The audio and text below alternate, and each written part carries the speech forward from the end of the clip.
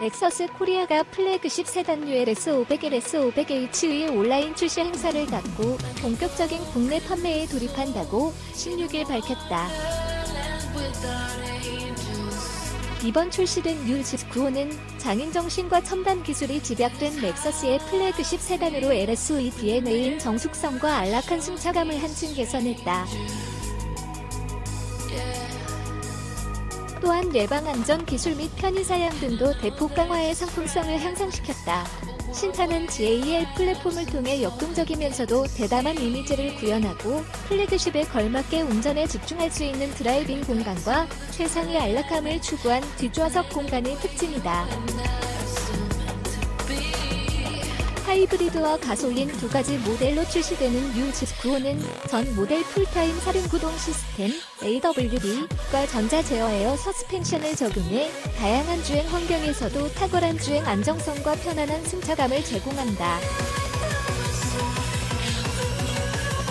특히 하이브리드 전동화 기술의 정점인 LS500H 하이브리드 모델에는 multi stage 하이브리드 시스템을 장착하였으며 모의 10단 변속 제어를 통해 더욱 부드러운 변속이 가능하다.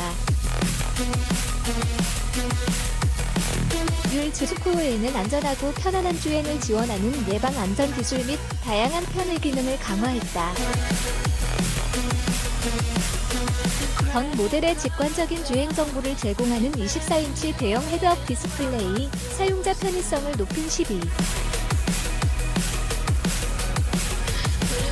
3인치 터치 디스플레이, 예방 안전 기술 패키지인 렉서스 세이프티 시스템 플러스, LSS 플러스, 후측방 제동 보조 시스템, RCTAB, 주차 보조 브레이크, PKSB가 장착되었고 렉서스에서는 처음으로 순정 블랙박스와 하이패스가 기본 사양으로 제공된다.